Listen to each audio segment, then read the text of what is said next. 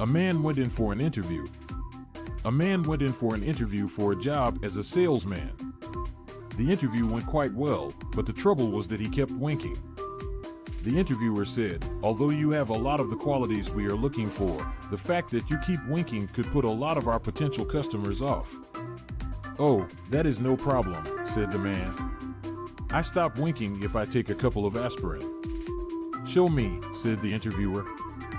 So the man reached into his pocket. Embarrassingly, he pulled out loads of condoms of every variety, ribbed, flavored, colored, and everything before he found the packet of aspirin. He took an aspirin and soon stopped winking. The interviewer said, I do not think we could employ someone who would be womanizing all over the country. Excuse me, exclaimed the man, I am a happily married man, not a womanizer. Well, how do you explain all the condoms, then? asked the interviewer.